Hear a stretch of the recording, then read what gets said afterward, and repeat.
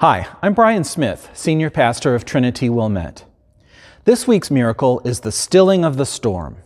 The storms of life include sickness, pain, loneliness, and rejection, and these are fearsome forces. In Mark chapter 4, Jesus is calm because he is stronger than the storm. So join us for worship, online or in person, and ask, When have you been afraid?